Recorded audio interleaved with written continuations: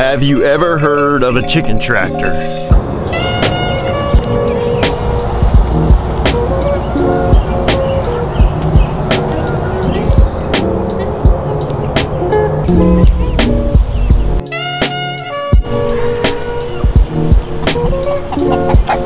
I hadn't till about a year ago and I started looking into some different ways to keep chickens and specifically a guy named uh, Joel Salatin.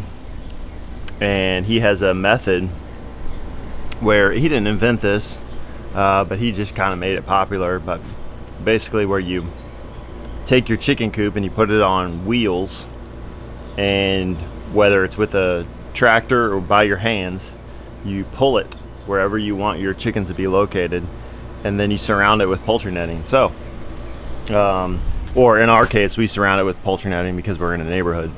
So today I am going to be building a chicken tractor.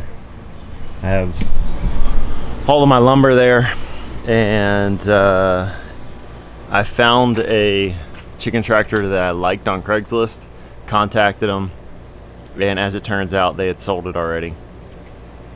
So I was pretty disappointed but uh, I, I liked it so much that I asked them to send me pictures and I'm gonna replicate what they did. So it's gonna be a 12 by 7 or sorry it's gonna be a 12 by 6 rectangle and it's gonna have um, PVC arches uh, with purloin in the middle and then it's gonna be covered on the front and the back by poultry netting and on the top by a tarp. So let's get started on this. So the first thing we're going to do is we're just laying out the sides. These are the 12 foot side rails. And what's going to happen is they're going to have a foot overhang on the rear. That's what these lines are for. So that'll overhang on the rear because those are going to have wheels on the inside of them. So you're going to be two wheels in the rear and then on the front it's going to overhang about six inches where the line is there and there's just going to be a hole drilled in the center and a rope connected from side to side and that'll be how we pull. That'll be our kind of that'll be our tow rope so to speak um, where we pull the chicken tractor around the yard. All the baseboards the boards that are going to be touching the ground are cedar. Um, I chose to do cedar because I didn't want uh, green wood or treated wood uh, in the chicken coop just because it's that wood is just filled with chemicals, formaldehyde and other chemicals and so I opted um, to use cedar instead. It's a little bit more expensive but uh, it'll be worth it in the long run. So uh, this is cedar board and so I'm gonna uh, cut these boards to six feet and we'll go ahead and drill them in and get our square all done.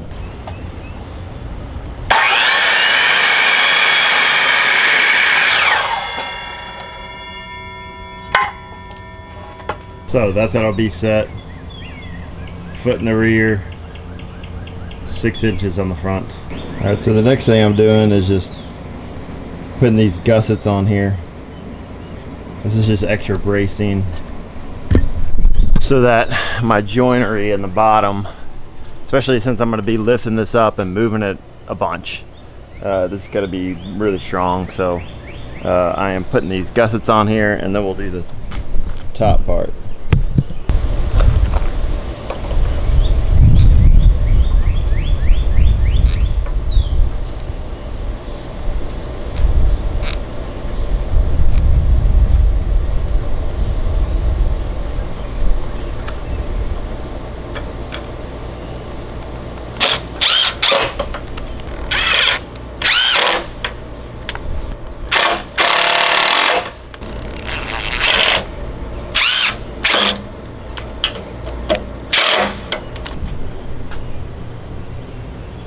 all right there is the frame all done.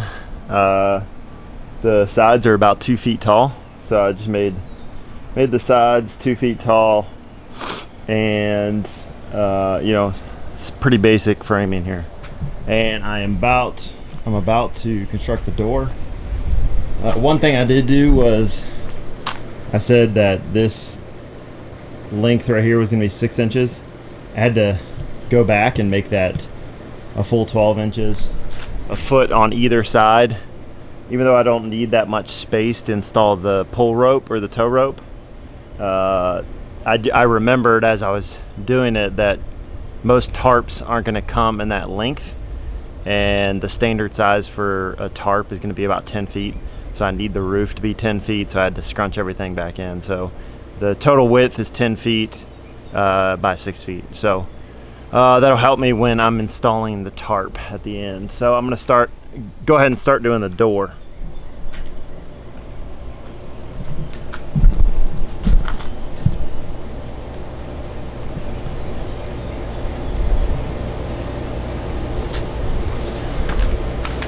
And for the door, I'm I'm just using because I don't have any spare hands out here. I'm just using a support, uh, the uh, grip here with two two by four scrap pieces and uh, smash them together to help uh, maintain the rigidity of of the wood while I screw it in.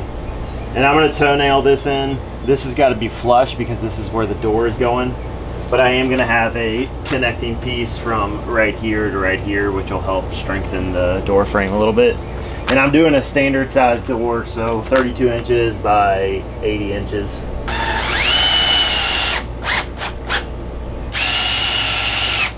Got that toe nailed in. Now we will cut a little piece be 18 inches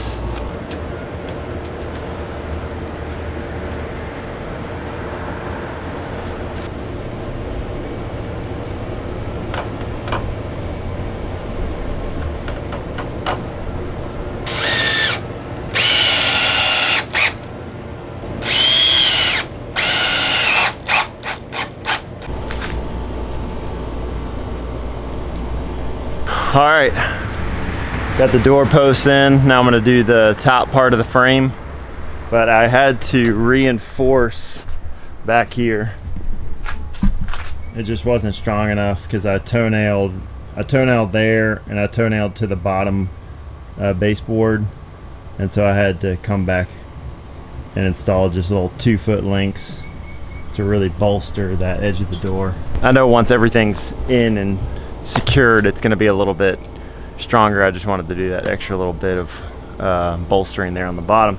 So I'm going to put my top door posts in and then I don't know. We'll see. I, I think I'm going to be done for the day. It's burning hot out here. It's like uh, 85 degrees, starting to get way hotter out here. The humidity's picked up, and if you know anything about humidity in the Midwest, it's pretty brutal. So um, I am going to put this top door post in and possibly be done for the day. We'll see. All right, and there is the full door frame. It's a little bit wobbly, uh, but remember there's gonna be from here all the way up into the peak and over there is going to be uh, some support arches that's going to be our roof it's going to basically be made of, of PVC and it's to have, uh, we're to have four arches and a purloin down the middle so that'll bolster it up a little bit. So that'll be, this will be attached to the arches so it will bolster the front of the framing up a little bit. And you know, if we need to go back and add some support uh, boards uh, on an angle, we can go, we can always do that too. So uh, that might be it for me today. I'm gonna clean this mess up and the next uh, shot of this video will be tomorrow. All right, day two of the chicken tractor. And I made some progress last night. I ended up working a little bit longer. Let me show you. So in the original idea for this, basically I saw this chicken tractor on Craigslist and uh, so I'm copying the exact uh, picture of what I saw and then having to improvise because I don't know the details of the build basically. So they used uh, steel tubing and they had a pipe bender so that's how they were able to use that. Well I don't have a pipe bender so I was going to use PVC. Here on the ground is the PVC I bought. I did it, I got a 90 to do the top and then I got 45s to do the sides. So it's kind of like the roof of a house, right? And um, well, I was thinking about it as I was going to sleep last night, and I thought, wow, that's what if I just bent the PVC into a hoop, kind of like a greenhouse? And then I was woke up this morning, I was thinking about it, and I was looking out the back window, and we have uh, cattle panels. These things that you see behind me, they're 20 bucks, about 20 bucks at Tractor Supply, and uh, they're 50 inches by I think 16 feet. I think is what it is. Um, so I thought, why don't I just put those on there? I don't have to do anything. Don't have to go through the trouble of trying to figure out how to secure the PVC down. And so that's what I did. I'm just using these cattle panels. They're pretty rigid. And then for the top purloin, I'm using a piece of 10 foot uh, conduit. Making this 10 feet is super important because every length you're gonna find in conduit, PVC, all of that stuff is gonna come in 10 foot lengths. And so uh, I want one complete purloin, so I used uh, uh, just a metal piece of conduit and I'm going to secure that in the center at the top between the two cattle panels to kind of uh, secure everything together a little bit better. So let me show you what I did with the cattle panels. I just took a piece of one by and smashed the edge of the cattle panel onto the end of the two by four and it holds really well. Just smash that together and um, looks like it's gonna work out well. I did that side now. I'm gonna show you how I'm doing it by finishing up securing this side. All I'll do is take my piece of one by, cut it 50 inches, which is the width of the cattle panel, and uh, just uh, start some screws on each end. Uh, because I'm the only one holding this, it's a little bit hard. So I need to start as much stuff as I can before I lift it up, and then I just take a quick grip and I'll quick grip it to hold it in place and then screw it in.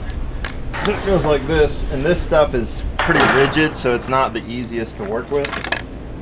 Hold it there, secure it in its place by smashing the quick grip down. And that will at least preliminarily hold it to where I want it. And then come back with the one by Now I'll remove the quick grip. It's gonna fall a little bit. At least I got one side where I want it. Knock it in. Just like that. I'll put some more screws in along here. That's just to get secured down. And that's how it's gonna look. Obviously with the tarp over it we're gonna have a center gap, but we're gonna we were gonna have gaps anyway with the um, PVC method. Uh, so I don't think that's gonna matter much. And we're gonna have that purloin in the middle, so it'll help hold the tarp up.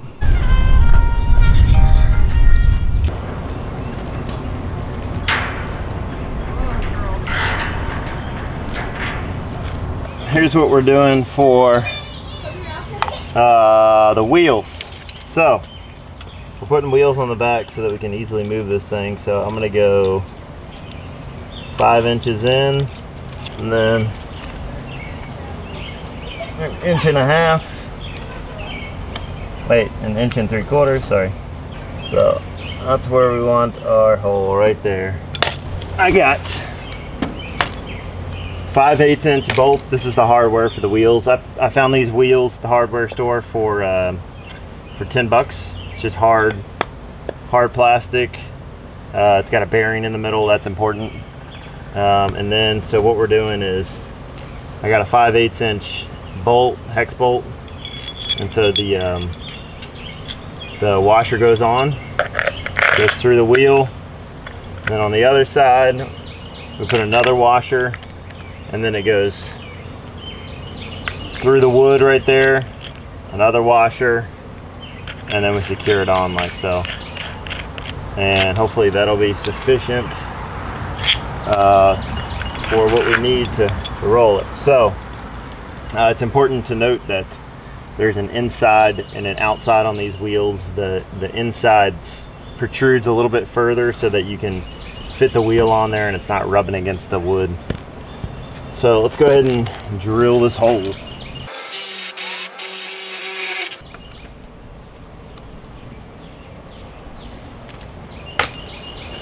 There we go. Just use some boards here to support the structure. Lift it up, roll through. Put our other washer on.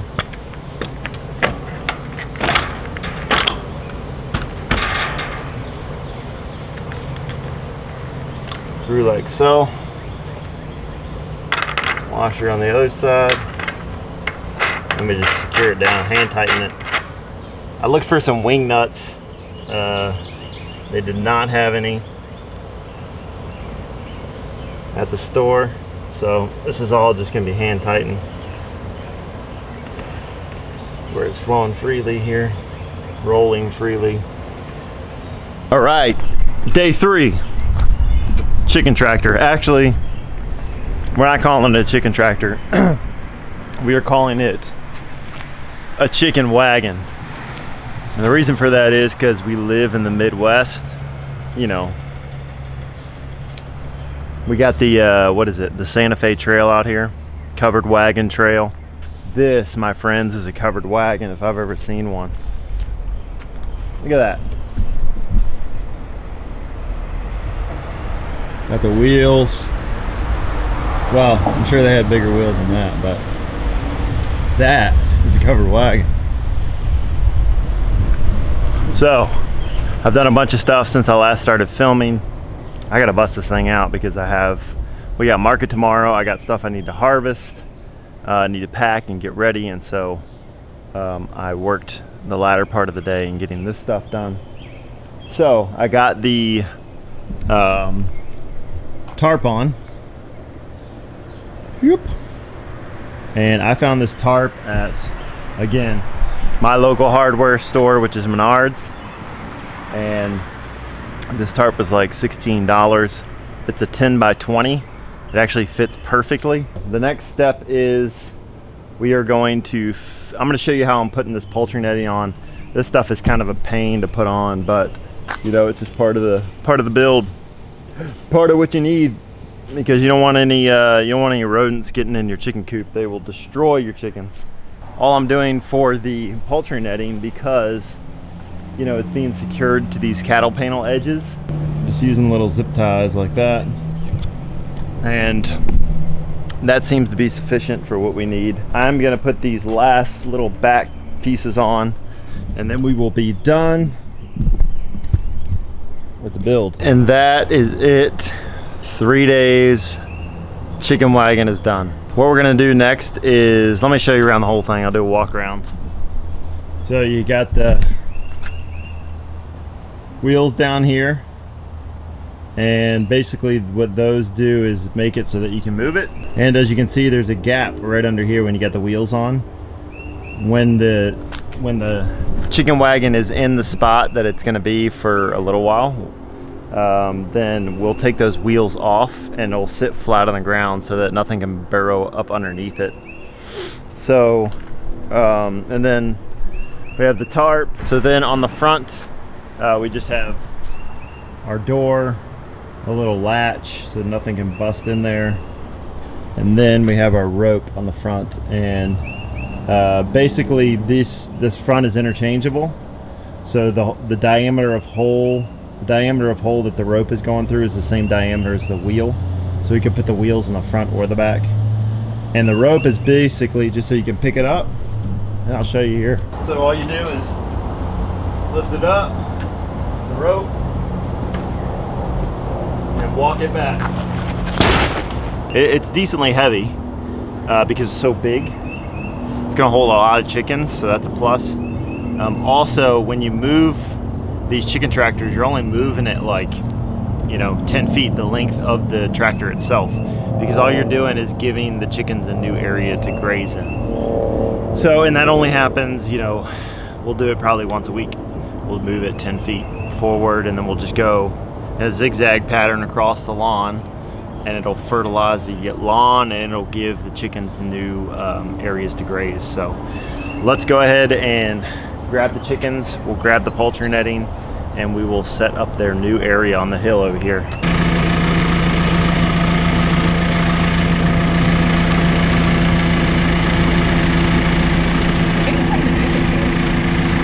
All right, that didn't work. Sometimes heavy equipment is not always the answer.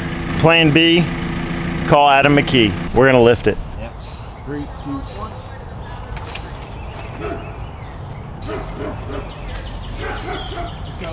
Now we're gonna get the chickens and move them to their new home up the hill. They should. Oh, pooped all over. squeeze the crap out. Hold on. Shut them in there just in case. Alright. They want to come to the. It is the week after the chicken wagon build and I wanted to take you for a little tour of it. If you remember in a previous video, we uh, installed the electrical fencing down near the barn over here. Well, the electrical fencing now resides around the chicken wagon and this was its original purpose. Um, I'll link that video right here in the corner of the screen so you can check that video out. Um, but this was its original purpose to uh, be a barrier around the chicken wagon. The reason for that is because it's on a solar energizer. So it's all wireless and we can just move it forward as we move the chicken tractor forward. So that's a huge help. So that's what we have around around it and we can shift it as needed. So right here is where we come in and out. So we just shut the uh, energizer off and then you just you can you can pick these things up pretty easily. They just come right out of the ground. You just stab it back in the ground behind yourself and that's it. So chicks are doing good. Let me take you for a little shot of this chicken wagon. I ended up putting uh, their nesting boxes on the right side in the center because that was the best area for them to not get wet during the rain. And I'm to be taking this cage out of here. This is strictly just for the chicks right now. Thank you, Bruce. Bruce is our rooster over there. So the gist of it is, every week I'm to lift this rope up right here and I am going to pull the whole chicken tractor back about 10 feet this way towards the front of the property and I am going to shift the fence along with it. That'll conti- that'll give the chickens a continual new grazing ground to where they can feed on new bugs, um, eat new grass, that type of stuff. And it'll also uh, give the grass a break right here in the main area so we don't continually destroy the grass as we go along. So I'm probably going to move them every week or so because they do a number on the grass. I'll show you what they've done so far. As you can see, these are pine shavings uh, on the ground right there, but they've already kind of destroyed the grass right there. I say destroyed, but really they fertilized the grass right there, so it's gonna be nice fertile ground. And as we move them forward, the grass will come back and hopefully be better than it was. So we're fertilizing the ground as we move them forward. We'll just continue to shift them all over the yard um, as we go along here. I'm super happy with the final result. Um, I haven't had any problem with the cats getting over here, bothering the chicks or anything, uh, because the cats are scared of the electrical fencing. Foxes we have up on the hill over here, they haven't even gone near it because again, the electrical fencing is what really does it. So I'm really satisfied by the final result, how it turned out. And I'm excited because now we have our barn back.